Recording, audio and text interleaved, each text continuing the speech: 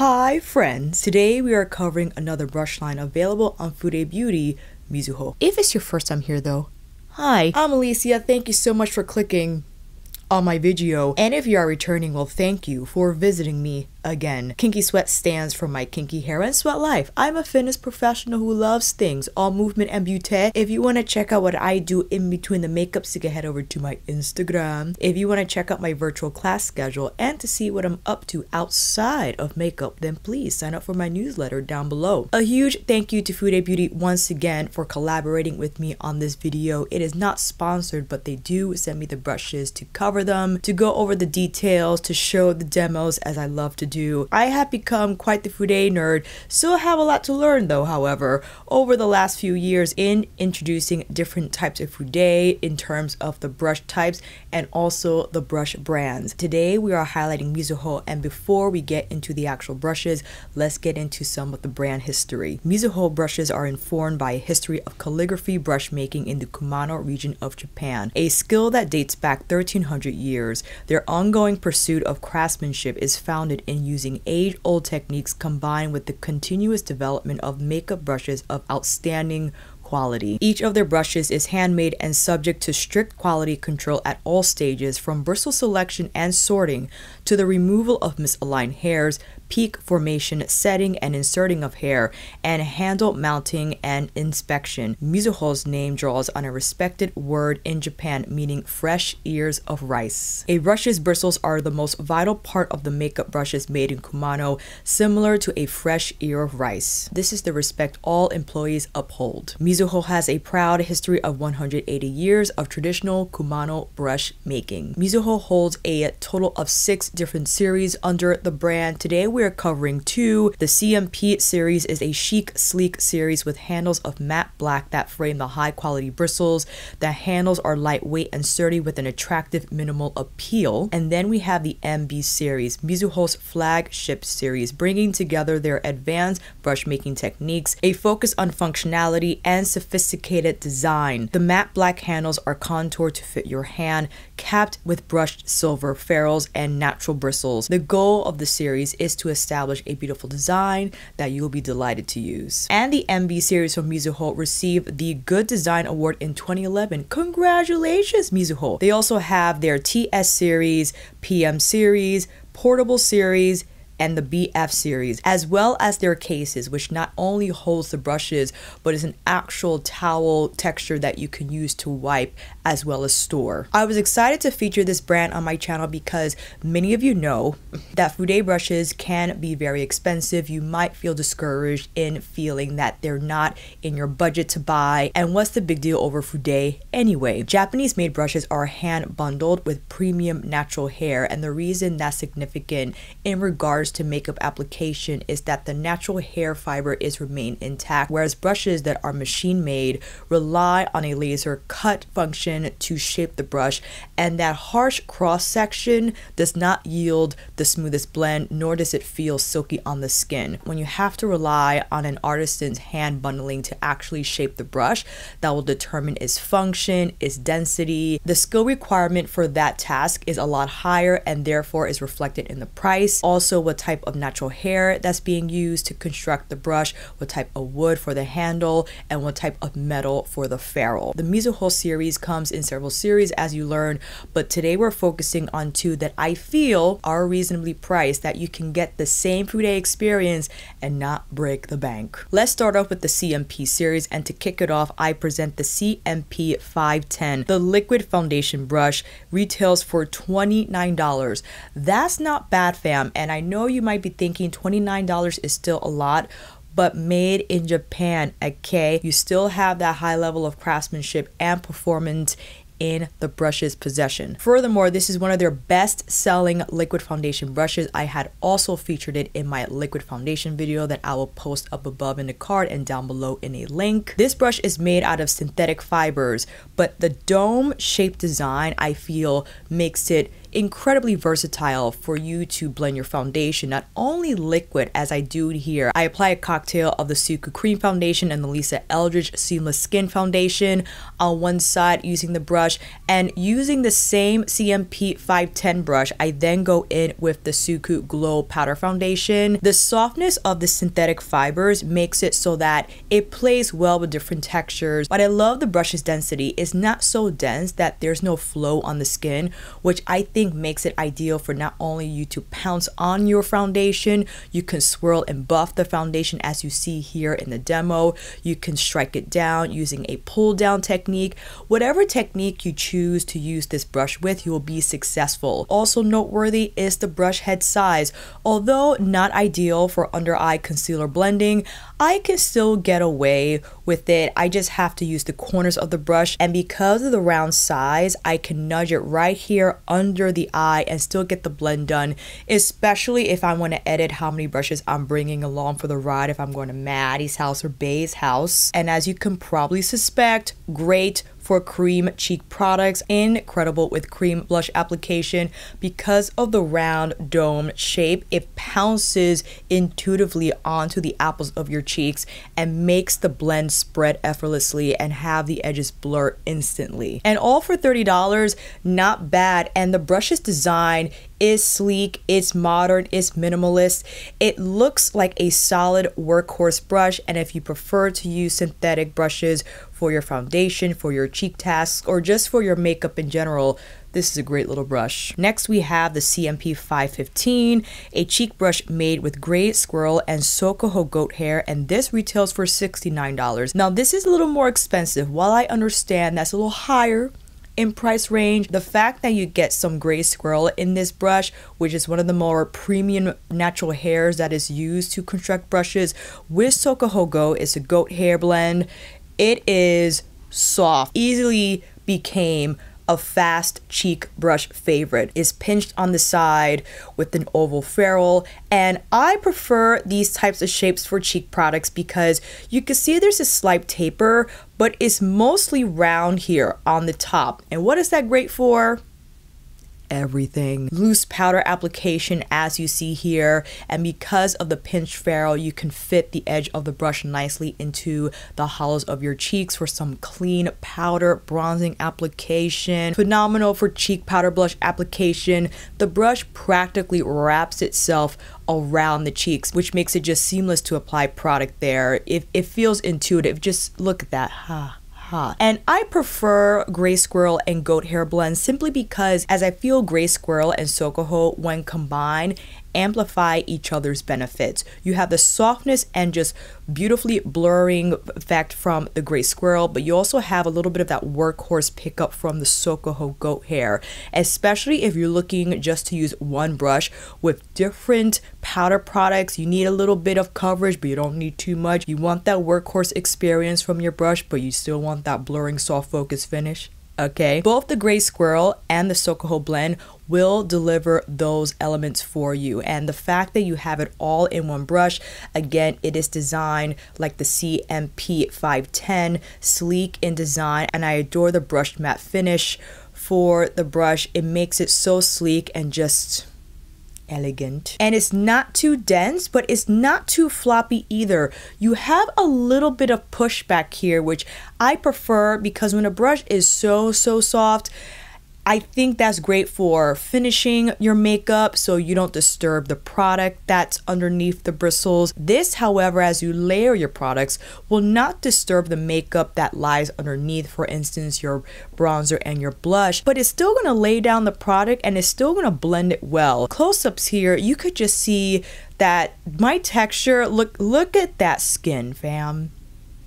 And again, it is all due to the fact that the ends of the brush remain intact. That is vital for ensuring a soft focus blurred blend because those fine tipped edges of the hairs glide over your skin like silk while at the same time provide even product application that's smooth and silky on the skin. And lastly, we have the CMP 527 eyeshadow brush. This is a mixture of gray squirrel and pony and it retails for $18. This is a great little blender brush here. It has a more pronounced point as many of my crease diffusers, as I like to refer to them. What I adore about this brush, however, is that although it has gray squirrel, the pony puts a little bit of that mm, mm, back into the brush. It's not so flimsy and floppy that it's not going to have reasonable product pickup or not move the product across your lid. It's also not going to move your skin. So this is definitely one of the more denser crease brushes that I own. If you have smaller eyes, you can get away with using this because of the pronounced taper. You could fit it nicely into your crease. However, if you prefer to use a smaller brush, one that I will cover in this video that I think is great for smaller eyes. You can still use the brush to blur the edges of your shadow that rise above your crease line. You could use this for under the eye powder setting or even some pinpoint highlighting on the cheekbones. What stand out to me is the fact that you have some gray squirrel in here. I don't know what the ratio is to pony hair, but gray squirrel is a premium natural hair, and to have it in an eye brush that retails for $18. I think it's a great introduction to gray squirrel if you want to get a feel of it, how it blends, how it works with your different eyeshadows, or even different products, as I mentioned, that you can use this with on other portions of your face. There's one more brush I wanted to mention, the CMP 521, the eyeshadow brush made with pony hair. This retails for $12.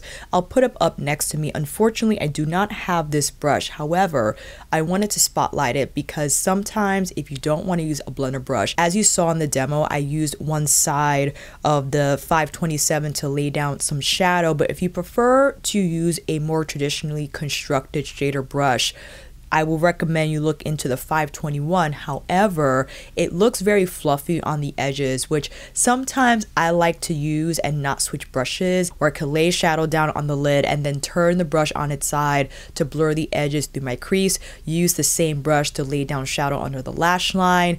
I think it makes it for a seamless experience, especially for the makeup beginner who cannot be bothered with using 10 brushes for one eye look is fine using just one. That's multitasking but it's going to deliver a great blending experience and have incredible product pickup. Now going into the MB series, Mizuho's flagship series, I have four brushes to present and the first one we'll start with, which might be my favorite out of the ones that I have, but Mm. The MB114 highlight brush. This is made with a mixture of pine, squirrel, and pony hair. It retails for $35.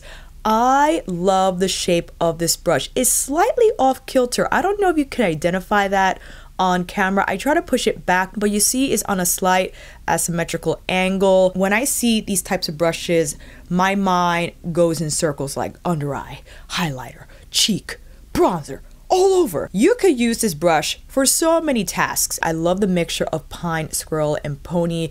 It just makes it for a beautiful texture here color wise. And the silver brushed ferrule with the black handle Again, sophisticated. And for $35, let me bring you through all the things you can do with a $35 brush. Here, I primarily used it for my under eyes. The teardrop shape just makes it ideal for under eye setting, but also I think this brush is great for bronzer application. Although a smaller brush than maybe your typically designed bronzer one, it fits perfectly into the hollows of your cheeks, but it still has enough flow and blend to blur the edges of the bronzer so it doesn't look so strict to the hollows of the cheeks. It spreads it in a way that looks like you used a bigger brush, but because of the swirl and twirl and again the teardrop shape of the brush. Now granted, because this is a pony hair mixture, it's not going to be as soft as an exclusively all goat hair brush or exclusively all gray squirrel brush. However, if you want to forego a little bit of that softness, don't mind it. It's still soft, however, just giving you that disclaimer because if you're expecting this to feel like red squirrel, okay, that I mean, it's so soft, it don't feel like anything on your skin. This is a little more practical in terms of its design, of the brush blend. Again, still Fude, still in Kumano by a highly skilled artisan. So there are no sacrifices being made in, in that department. If I had to pack just one brush for all over powder application under the eye, bronzer, cheek, blurring, finishing, it'll be this one. It'll be this one. Highlighting, forget it. The flat side of the brush makes it so easy for you to feel where the highlighter goes. If you want to bring it lower, you can. I think, again, for the price point, a fantastic brush. Next up, we have the MB101 Multi-Face Brush.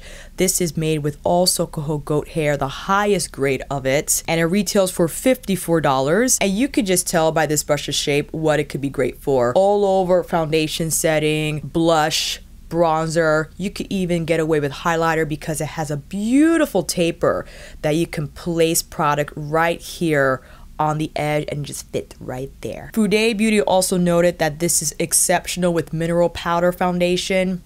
If you are aware of mineral foundation, this doesn't feel as soft as the CMP 514. Now keep in mind the CMP brush is a gray squirrel blend and the MB brush is all Sokoho Goat. Sokoho Goat is soft, but it's not as soft as Gray Squirrel. And because this brush is pretty tightly packed, you got a lot of bristle in here, and you're gonna feel that push back of the brush. You might feel the edges of the bristles, especially when you lay it on its side like so. I prefer the CMP simply because it's smaller, it has a little more flow on the skin, and therefore I think a little more multitasking for me. You can definitely cover the same tasks with this brush. I also feel because it's a little bigger and it has more bristles in here, you're gonna have more product pickup, and if you want a little more control, you could go for the smaller brush. And I do believe there might be a smaller cheek brush in the MB line. I'm featuring this one, but if we take a look on the sides, they have the MB 102 cheek brush that's a lot smaller. I would still go for this one because again, you could use it for the mineral foundation application as it was noted and also as a bigger brush for more pronounced bronzer application if you want like that a little heavier dose in terms of what the brush can deliver because of the bristle density and size. On to some eye brushes from the MB series. We have the MB125 blending brush. This is made all with gray squirrel and it retails for $23. Now this is a little brush, but what I alluded to when speaking about the CMP 527, this brush here. Now I get that the CMP brush is a lot bigger. So if you have my eye size or bigger, then yes, go with this one. But if you have a smaller eye shape, not only will this be great for product placement, as you can see here from the flat side, but the softness of the actual brush makes it ideal for crease blending for smaller eyes. Let me tell you, I use this brush to apply some Suqqu shadows, and although I eventually moved to the CMP brush to blur out the edges through my crease, I still find you could use the MB brush to blur out the edges through the crease. It just slides along the skin, and with Gray Squirrel, one of the softest natural hairs out there, my goodness. If you love softer shadows like Viseart, or Suqqu or any of those textures. They're not like pigments from Mel, okay? You want something just soft and natural looking in finish. Not only can you use this to place color on the lids, but also lower lash line and great for the inner corner. Yes, it's not like your pencil brush if you want to have more precise placement of color you could still get away with the inner corner highlight placement using this brush as well as some brow bone highlight here. Fantastic little brush. Again multitasking in its design. If you just want to use one brush for your eyeshadow I would consider this one. And Gray Squirrel for $23. I know $23 might be a lot for one eyeshadow brush, but if given the context of how much you can spend For instance, like on a Kolinsky eyeshadow brush that runs into the hundreds, all right? I think a great price point for an immaculately crafted brush that's going to leave that blend looking smooth. And lastly, we have the MB124 Multi Shadow Brush made with pony hair, and this retails for $14. Now, pony hair all puns intended, is a workhorse type of a bristle. It's going to have a little bit of pushback. It's not going to be as smooth as Gray Squirrel or Sokoho Goat. And again, it's going to be stiffer in feel. It's not going to have the same Flo Jo feel on the skin, but great product pickup and color intensity when using this brush. I use it primarily here for inner corner highlight. You could also use this brush to place a heavier dose of color on the outer third of your eye for that intensity and smoke. If you want to use this brush to blend out a little bit of shadow along the lash line, fantastic for lower lash line placement. Again, it's not going to have the same flow and feel as the MB25 that has gray squirrel. So I wouldn't rely on this brush for blending. I would use it for more precise tasks. Again, inner corner highlight, lower lash line application. If you want to strike a darker color here on the outer corner, great for that task. And in terms of size, is smaller than the MB125, but not so small that you can't use it again on other areas of your eyes. If you have smaller eyes and you were thinking about using the MB124 for your crease, I would go with the MB125 because it's smoother in terms of pulling it across the skin here. If you want to get both and wondering what you're going to use the MB124 for. Again, you could use it for more intense shadow application because this brush is a lot softer. It's not going to pick up as much as pony hair. And again, if you want to enhance the inner corner with some highlight or intensify the outer corners of the eyes, then this brush will be ideal for those tasks. And that is it for the Mizuho series. I am looking to further expand my Mizuho collection because I am very impressed by this line. Everything from the construction to the thoughtfulness put behind the brush design, the density, the different types of bristle blends that are found in the Mizuho series, I think is comprehensive enough for someone to find their brush. Again, different price points offered by the brand if you're looking to get something more expensive or not as expensive. But as I said before in the beginning, an inexpensive Fude brush is still an amazing brush. You don't have to spend $500 on one powder brush to have an immaculate makeup experience. The fact that you can spend 29 on your liquid foundation brush that's going to last for a very long time. All these brushes are under $100 and I think worth considering if you're looking into Fude but you had a stricter budget, still want to grab some brushes that are going to enhance your makeup experience and maybe inspire you to wear it more often. Let me know friends if you have tried Mizuho before,